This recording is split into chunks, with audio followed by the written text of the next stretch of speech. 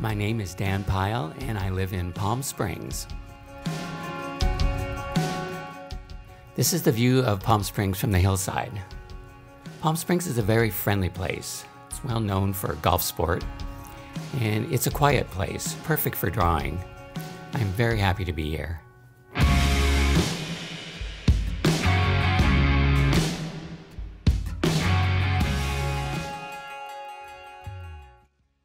I was always drawing and doing all sorts of little art projects back then when I was a child. It just was really creative.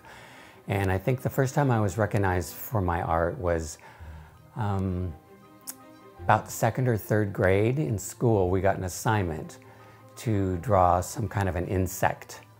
And I picked one that had wings, and the wings were kind of iridescent, you know, they get. And I remember trying to get all those colors into the wings somehow. And I guess I did a good job because at some point my teacher came to me and said that there was some kind of a regional school convention or something and they were doing a display of different things to present at the convention and they wanted to put my drawing in the display.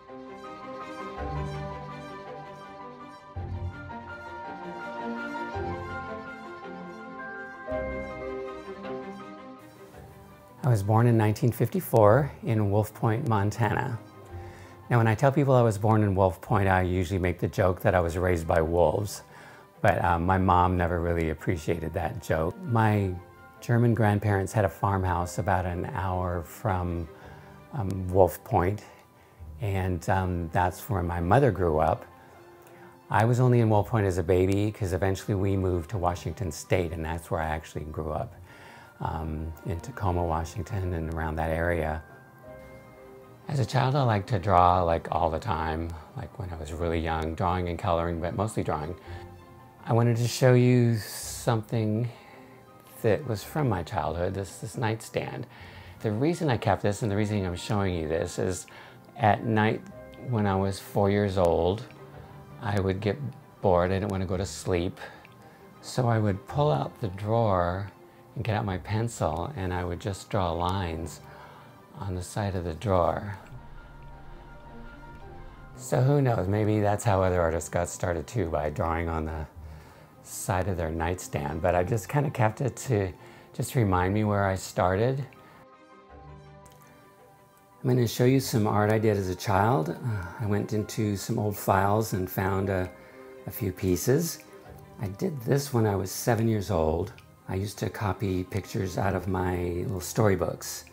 This is from a book, something about the city mouse visits the country mouse or something like that. Then, when I was 10, I did my first Mickey. So this is Mickey in pencil. Uh, Minnie is on the other side.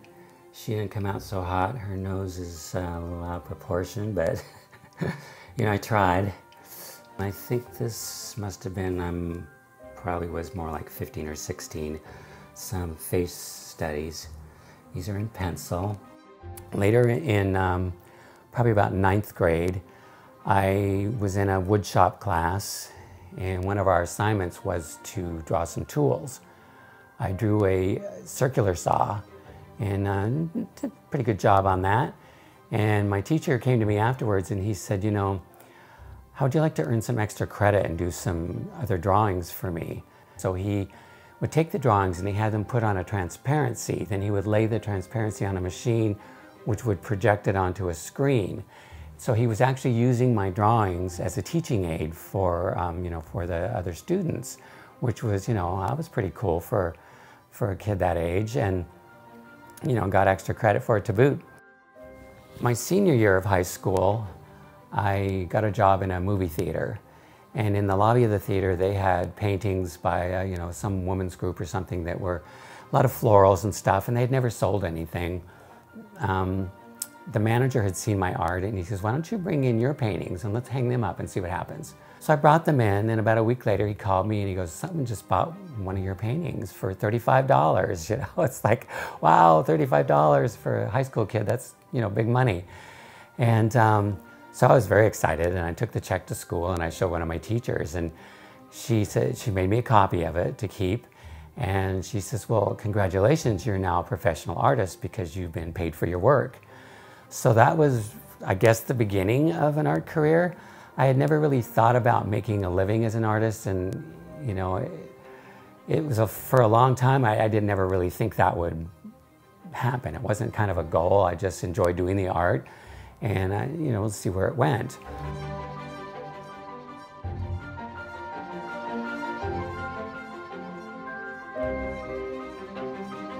So after I got out of school, out of high school, I moved to Seattle, which is a bigger city, more opportunities. I also started doing some, some wall murals and graphics. So eventually I became known for, for doing some of these graphics and I started getting jobs. Um, I know I did like a waiting room in a dentist's office. I did a, um, an entire floor of, a, of an office building. So it was kind of fun to be doing that on the side. I was still working in a regular job as well. Later on, I moved to Los Angeles. And I lived around the corner from this really high-end art gallery and I would walk by there all the time and I thought, God, this is just like so nice. I would love to be able to show my work in here someday. And they had this one artist that they showed there that did paintings, but they were very similar to the kind of work that I did. So I thought, well, if they showed that, maybe they would show mine. Finally, I went in one day and I talked to the manager, David, and we became friends over the years and he became my mentor. He just guided me along through the process. Over the years, I became friends with all the owners. There were three owners of the gallery and a couple other people that worked there. And they, they all had bought pieces of my art for their, for their homes.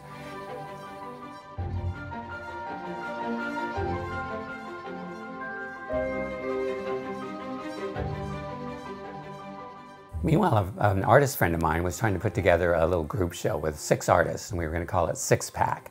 So we had this great show, and a lot of people came, and I sold a couple pieces. And I had this one piece, there was a, one of their wealthy clients that came in, and she really liked it. And he goes, I'm pretty sure she's going to buy that. But then, you know, she didn't, nothing happened. And then one day I got a call, like right after the show, from someone from out of state. And they said, you know, my aunt saw this drawing of yours and she hasn't stopped talking about it. She just loves that drawing. And she's very wealthy. She's been very good to all of her family over the years and very supportive of all of us. And we never know what to give her as a gift to give back. And we want to chip in and buy this drawing for her.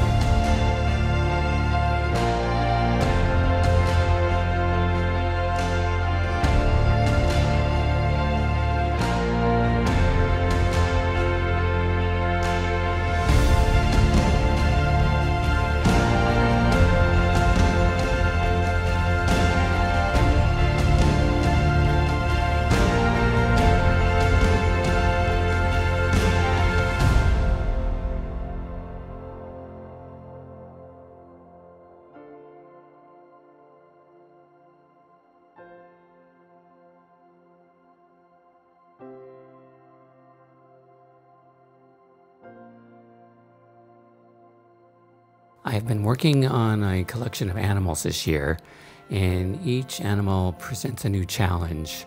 Um, the types of fur, the textures of skin. On this particular piece, I am drawing a white polar bear on a white board. So my challenge here is to make him visible so you don't just see, you know, two eyes and a nose. So what I have to do is I have to go in and lay in some shadows first. Then I come back with the eraser and I actually draw the hair into the shadows with the eraser. This brings out the depth and the dimension and gives it the texture.